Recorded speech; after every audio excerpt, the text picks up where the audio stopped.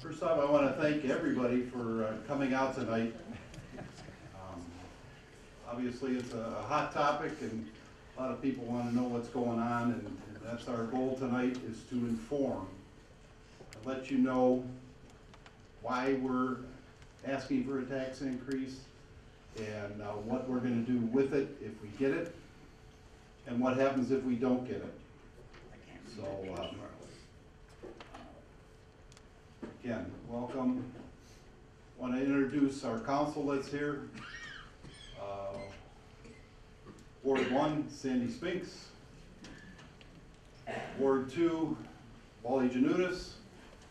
Ward three, Mar- Marilyn Zolata. Ward four, Paula Mezek. Ward five, Greg Pozar. And Ward six, Don Saunders. And uh, Joyce, we got one up front for you.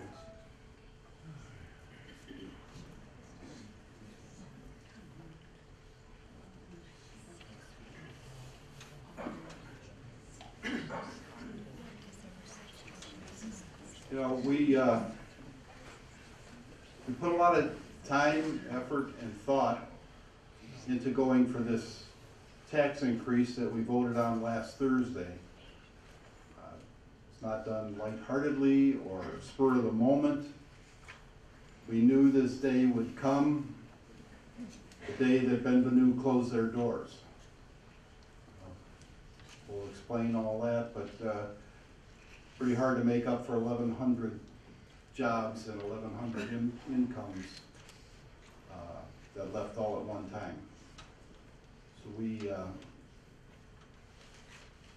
we thought about it, we worked it, and we finally came to the conclusion that the best way to offer the best services and to keep a stable, progressive city was to ask for the tax increase. Uh, just because we voted to put it on the ballot, doesn't mean it passed. That's up to all of you and us when we go to the ballot box. And it'll be at that time when you assert your trust in us that we're doing the proper uh, due diligence with your tax dollars. And, and that's the vote. If it passes, we know you're with us. If it doesn't, uh, doesn't mean you're against us, I understand that. But it means we didn't tell our story properly. And this is gonna be the first of many opportunities to hear what we're having. And if anybody has a group, a club, uh, an organization, a neighborhood meeting that they want us to come and talk about it, please give us a call. We'll come out.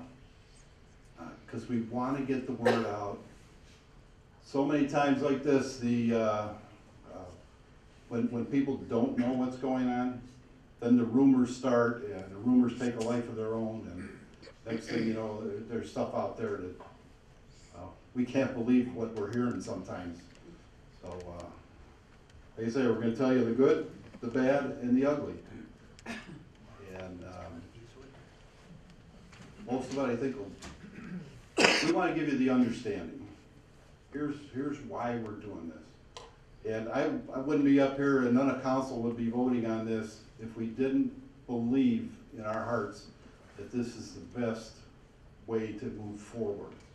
So, uh, again, we're, we're gonna do what we need and we're gonna, tonight, we'll have a presentation with, uh, our city manager, Mike Mallis, and our finance director, Frank Gambosi. Then afterward, we'll have a question and answer period. I think probably where everybody wants to get to first. But If you have questions, write them down or just remember them, we'll get to them after, we'll have an orderly question and answer. And try to answer all your questions. Our goal is to get out of here by about eight thirty, to be respectful of your time. But we'll be here as long as you need. So, With that, I wanna bring up Mike Mallis and, and get us started. Good evening, everyone. Evening. Appreciate everybody coming. Um, we wanted to do our best to get the information out. Obviously, as the mayor said, this is gonna be the first of many, um, meetings. We bumped up our ward meetings. There's some flyers up here if you'd like to grab it afterwards detailing those dates. And we'll continue to get this information out. Um, I wanna thank, uh, Jim Wagner, who's around here, I lost him, uh, there it is, for, um, offering to tape this. And part of the reason is, we wanna get that, this message out, social media, have a link to our website. For those that can't attend this, they can hear this presentation. So I appreciate Jim, uh, offering to do that. Before we get on the hot topic, um, obviously the tax increase, I wanted to, um, touch on something that many of you heard, I'm sure, throughout the weekend. Uh, many of you have probably seen the news that, um, aired today at about six o'clock. Um, in two thousand and twelve, city officials sat up here and we started talking about regionalization, um, which is a good thing. I'm a huge supporter of, of regionalization. I think it's, um, in today's day and age, it's something that's very, very important. Um, we made a decision then to partner with three other communities and open what's known today as the SECC, our Regional Dispatch Center. We knew there'd be some hurdles along the way, and we've dealt with some of those hurdles as what is now three and a half years. Um, some hurdles um, we were able to overcome, and others we couldn't. Um, we were one of four members.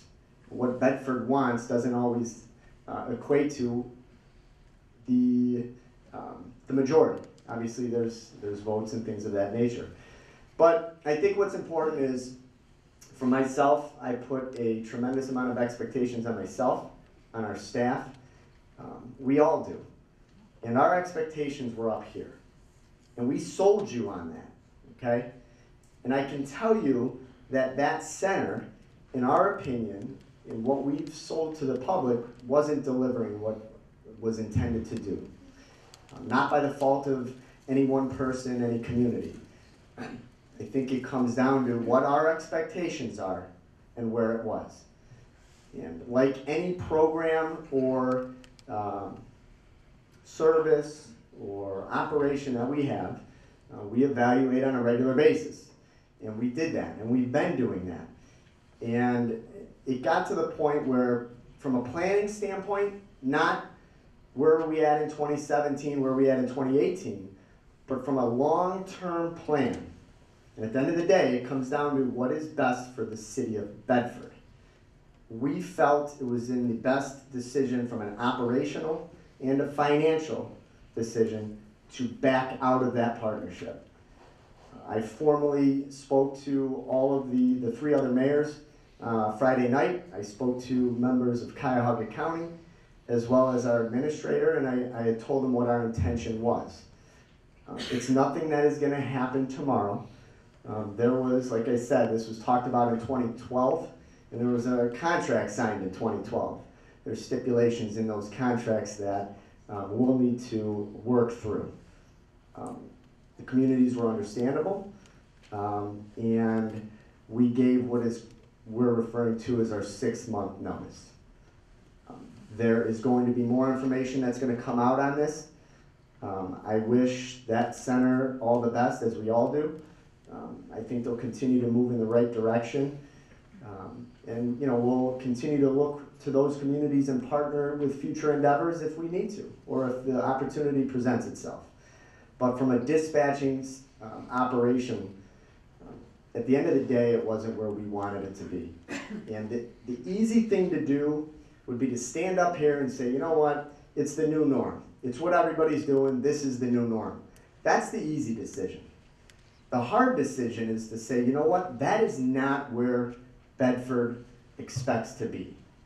And you know, I, I want to thank City Council and, and you know our chiefs and everybody um, who, and, and mind you, this has been a fluent conversation. This has gone on for months. You know, we've talked about things during the course of other years, and you know what? We made the hard decision. We made a tough decision, and we're not afraid to do that.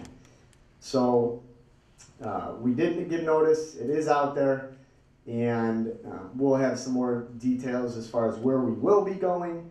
um, when that will happen, what the effect will be. Um, all of that will come out in the next couple months. But um, wanted to make that announcement here for those of you that didn't already know. Um, we will be uh, severing that partnership. Can answer questions on that later. On to the next topic. As those of you that have uh, attended over the, since 2013, late 2013, nine different ward meetings, three, four state of the cities, uh, we've consistently spoken about the challenges that we've faced.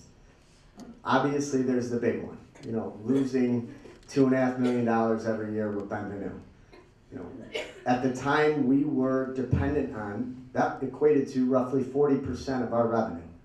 It's huge. And we lost it. Um, obviously, Frank's going to talk about into some details what the state of Ohio has cut, um, not only Bedford, but local municipalities. Um, many cities last week cringed when they saw the report. If you haven't seen it on cleveland.com um, and in the Plain Dealer, many cities cringed when they saw that. And the state auditor issued a two part report. And personally, I was actually ecstatic because it, it said two things.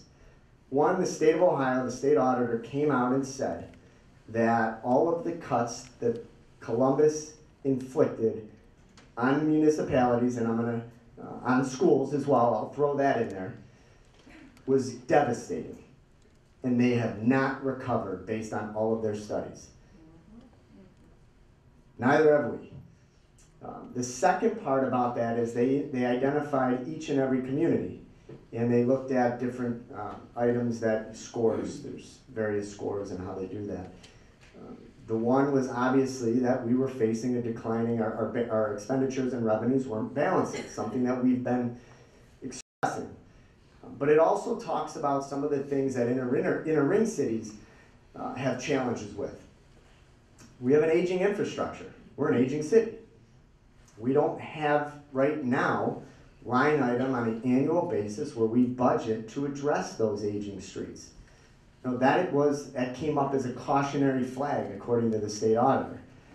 So you know, getting that actually, I, I welcomed it because one, it was exactly what we've been saying, and two, the plan that we laid out addresses some of those major things that the state auditor uh, identified. And when I talk about a plan, I, I mean specifically that. It is a plan. Someone had said to me that uh, municipal government, government of all uh, levels, I should say, is peaks and valleys. You're going to have your valleys. You're going to lose revenue. You're going to have other challenges. It's the cities that actually have a plan on how they're going to deal with that are the ones that get back up to the peak or that can get out of the valley. And we've done just that. This is something that we've talked about for years.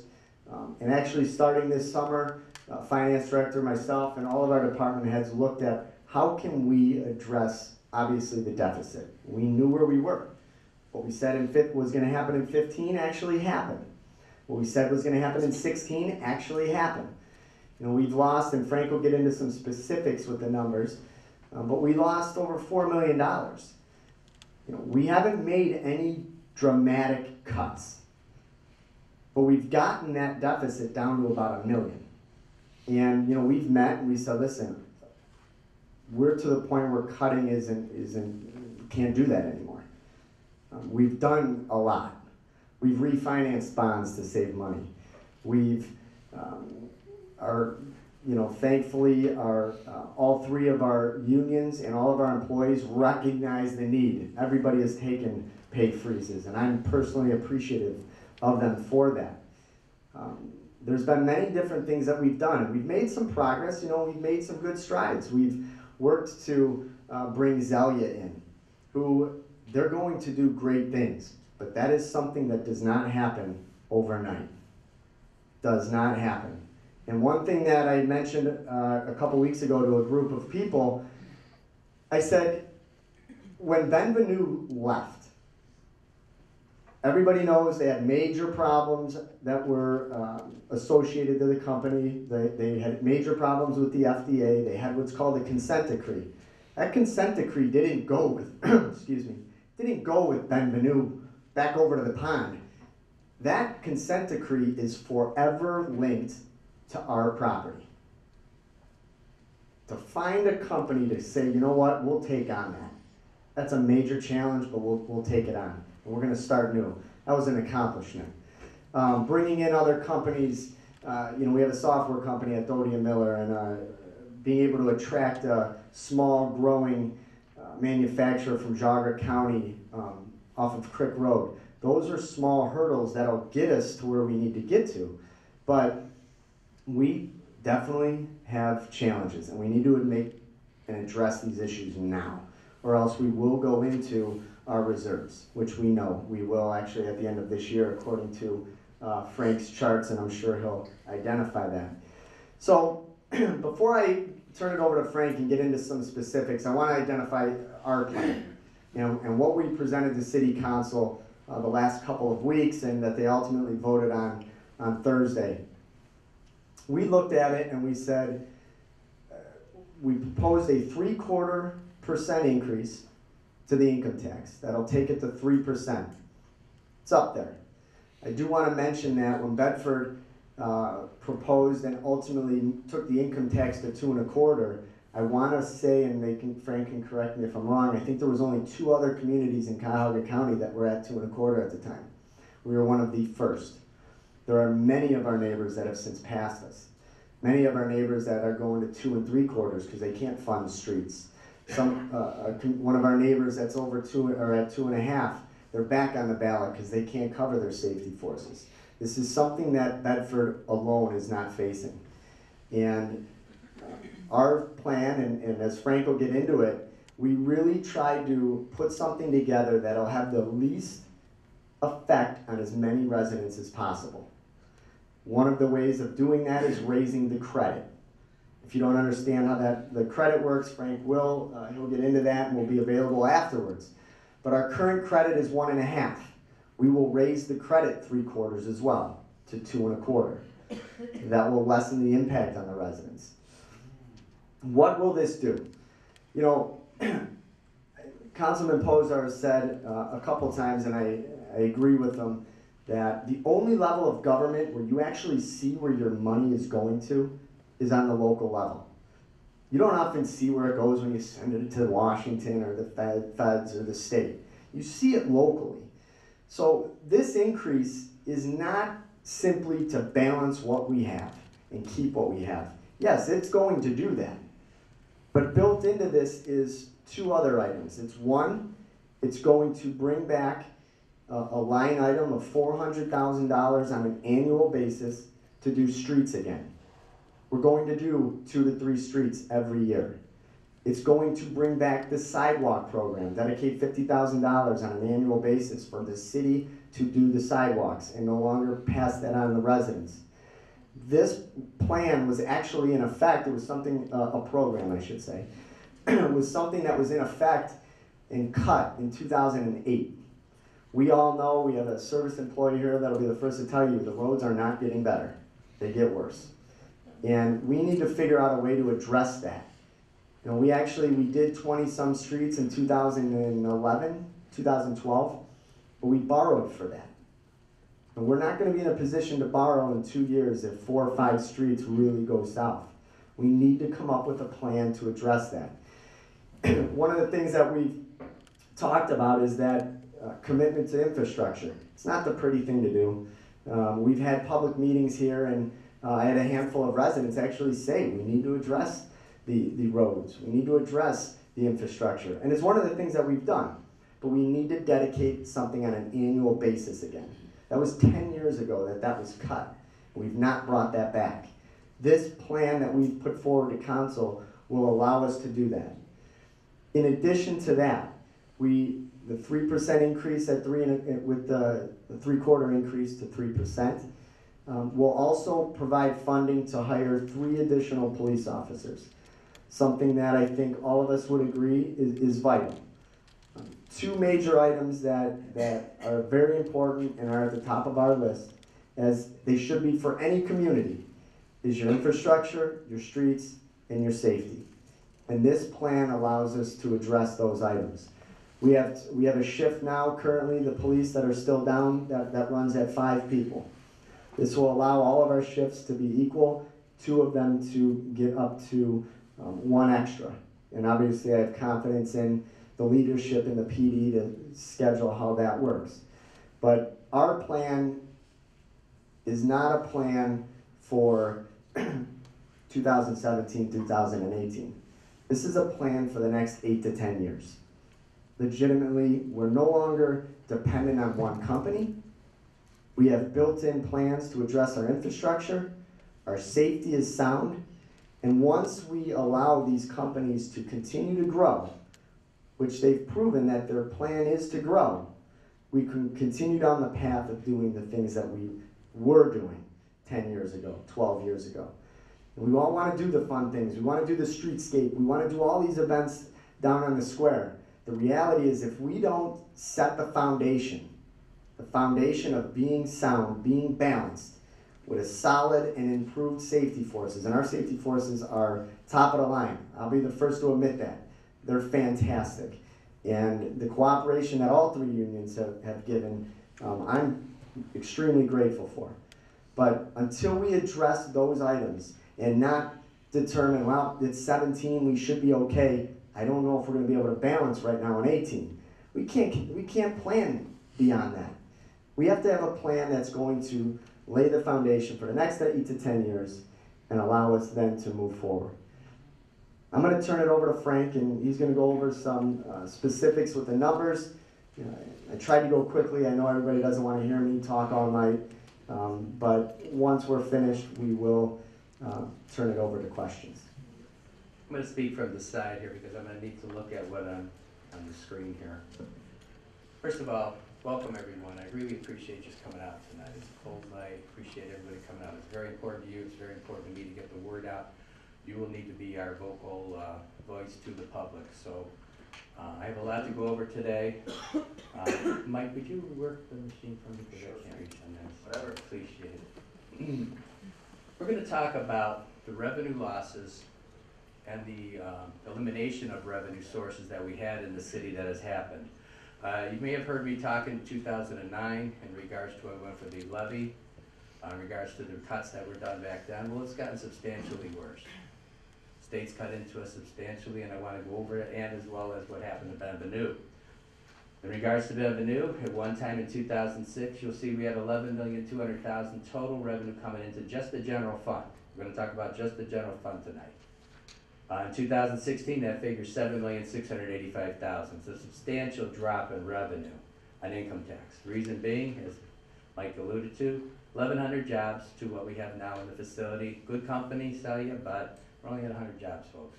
The sign on the outside, don't let the perception fool you. There, it's not full inside. There's only 100 people in there right now in a big building. Okay, Mike, if you'll continue.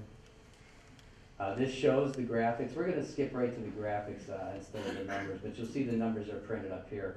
You can see the substantial decrease, uh, where we're keeping pretty consistent here. I said decrease, didn't I? But you can see it, and has it gone for the income tax? Substantial, it's our one, number one source, revenue, at one time, Ben Venue was forty percent of this figure. Forty percent of that figure was income tax from Red, Ben Venue. And don't forget water and sewer, how much they used with that fund, it was about a quarter, twenty-five percent of our revenue in water and sewer. If you continue on, I'll go into the other sources. We have three other sources I'd like to go over. Mike, if you would, um, go to the next screen, perfect. And maybe, uh, I'm just gonna tell you some caps here. Some of the interesting aspects of the income, of our taxes are is, uh, when was the high point, uh, when these revenues came in? And when you look at the personal property tax, which by the way has been eliminated, at one point, we had as high as four hundred sixty-four thousand dollars received in two thousand and five. Your inheritance tax at one point was as high as five hundred twelve thousand dollars in nineteen ninety-nine. But you can see how that has been taken away as time went on very quickly. Uh, and the local government fund, you've heard a lot of talk about that and how the state has cut. All three of these revenue sources were cut by the state, seven hundred twenty-nine thousand to half.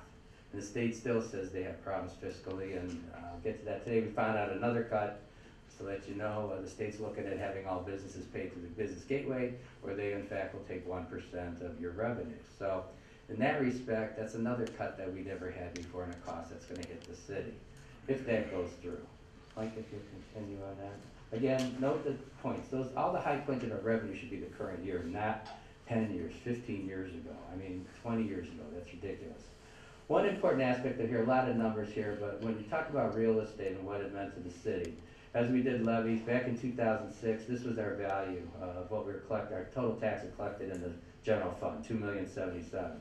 Today, we're getting a million eight ninety-nine. The value of the city back in oh-six was two hundred ninety-four thousand per mil, drop off the last three digits.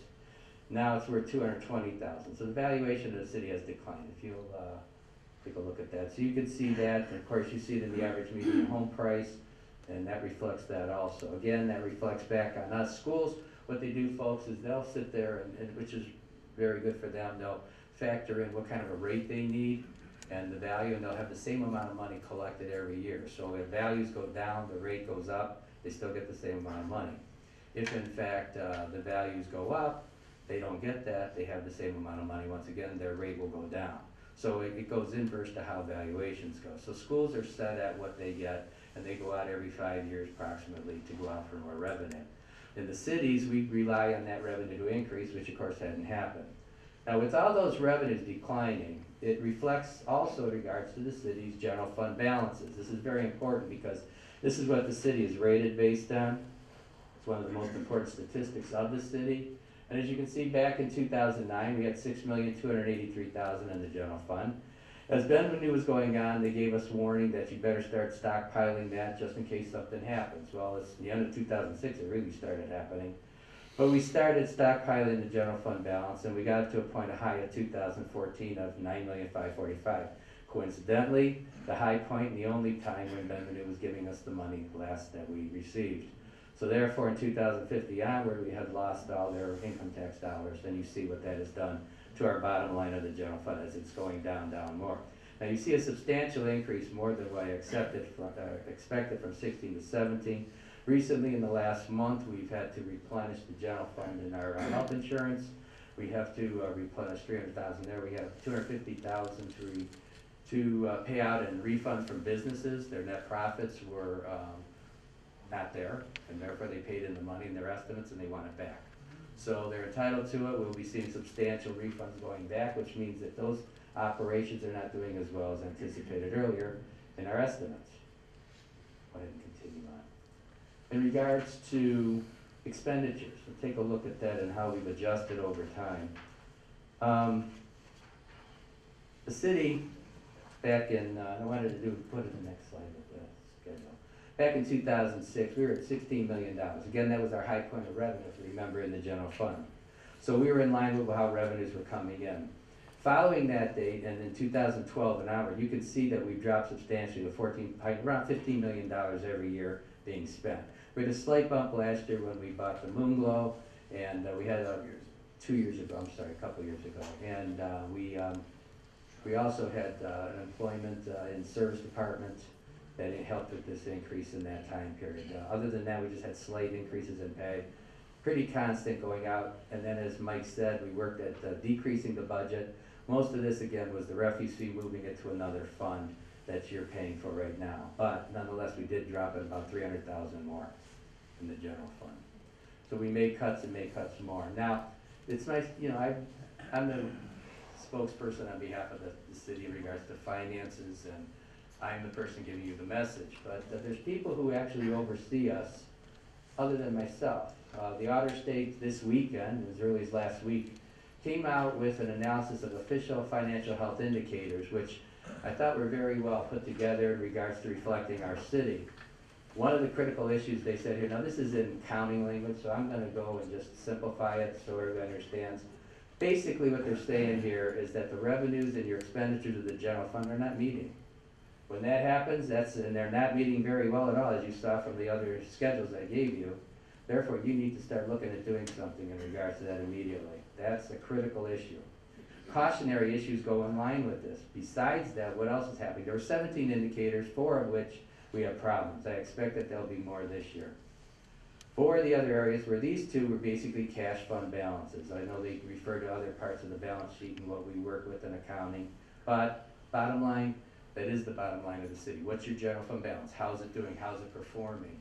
Uh, as it's going downhill, as you saw that line indicate, that's an indication of caution. Yes, you have some funds in the bank, but you better start working with that now, because that needs to be upturned really quick.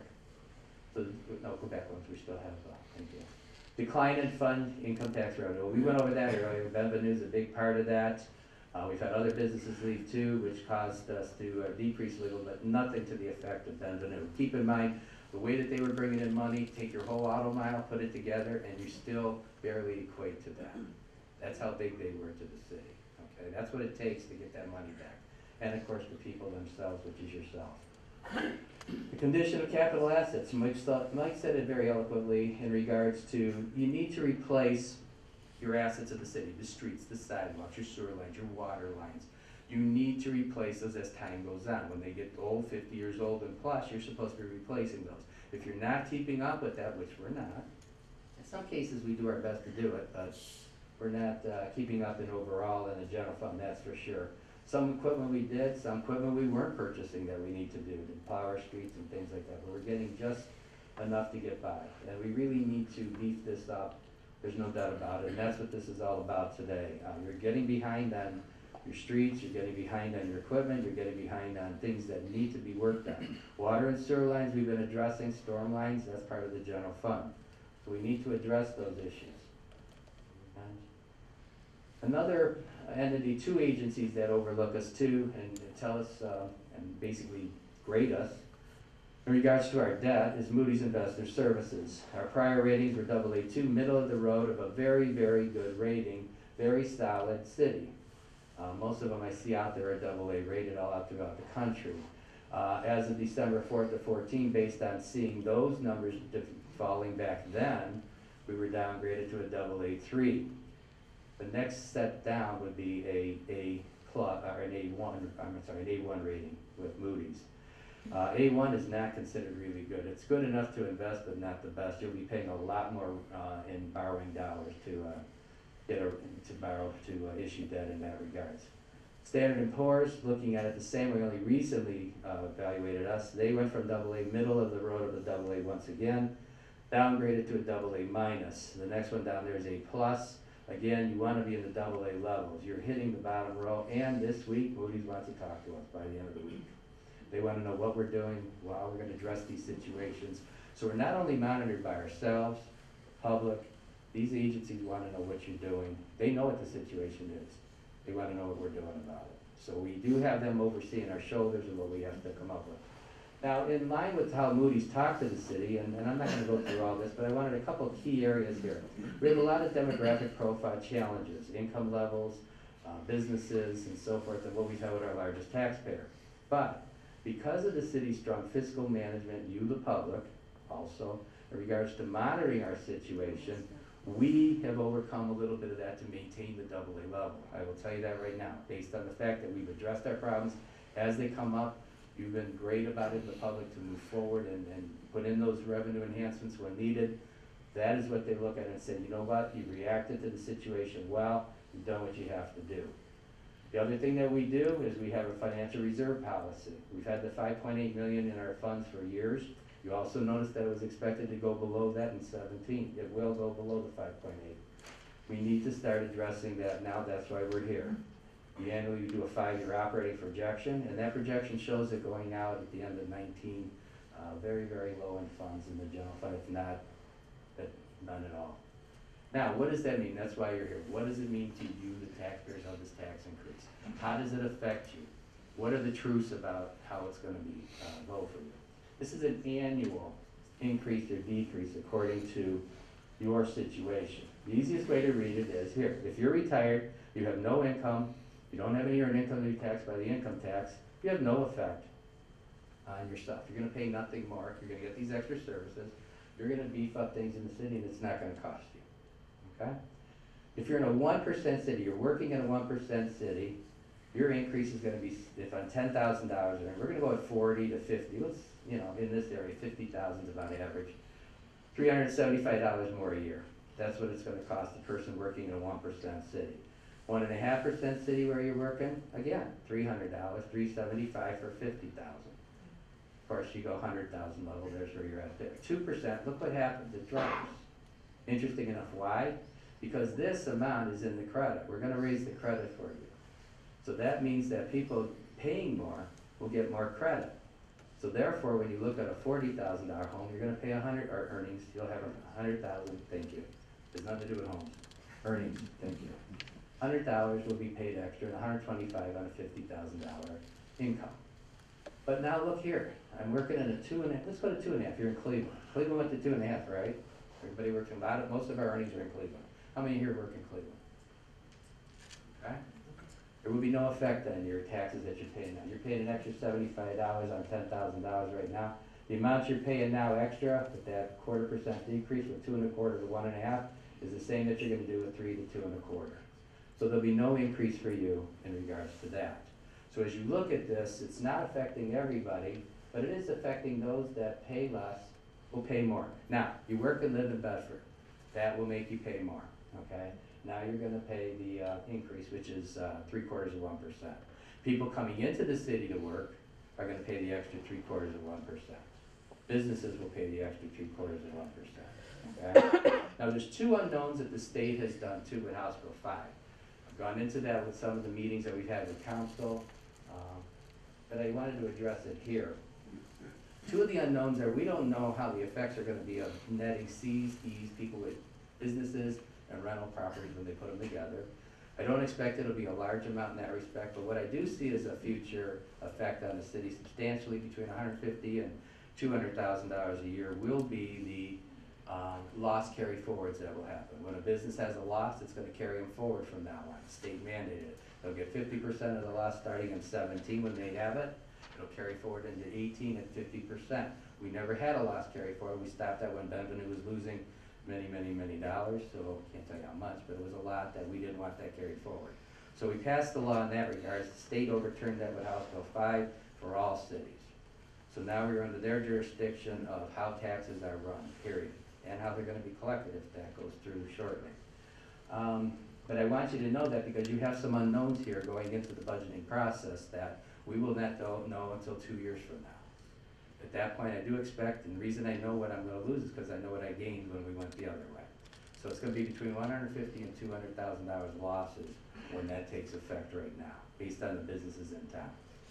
Um, uh, let's see, okay, so, right now, is a summary, you need, you, you see the need for continued improved services in the city. Everybody sees that, we all know what we need, we need that security forces. I believe that wholeheartedly, uh, being part of the city, and, uh, I know this city really does a great job in supporting the city, and our services are second to none. And then I will say that. Um, our general revenues are projected, and our current history's been given to you tonight. We show a need of revenue, to meet everyday expenditures, not just myself, the state sees it, the Louis Standard Poor's sees it, they all see it. I think you see it tonight, we'll go back one more, still not done yet, I know. The type of, sorry, not yet, one minute. The type of revenue enhancement has been presented today, three percent tax, two and a half, two and a quarter cap with the uh, credit. I think that's very fair to the public, very fair to the wage earners. Uh, yes, some are gonna pay more, but you saw how much that will be based on the charts. Uh, the unions agreed to no increases in seventeen, you heard that from Mike earlier, I think that's a big, big factor in all of this, you see that their, uh, support for the city also. State Auditor's Office issued the warnings last week about this to our city, as well as all the others, telling them what they need, and you take it from there. I see a couple more indicators going negative next year, definitely regardless of what we do in seventeen. The turnaround will be in eighteen because the tax takes effect in eighteen. The rating agencies know the need and are awaiting our decision in, in May. They'll definitely talk to us about that this week. Um, we need you in the last section. Please vote on the three percent income tax increase on the May seventeen ballot. Your knowledge regarding this issue, based on today, your support and your vote are the utmost importance for the improvement and security of this city. And I thank you for listening to me tonight, that's all I have, but I'll be around for questions and hope to answer all your questions out there. Thank you, Frank. Thank you.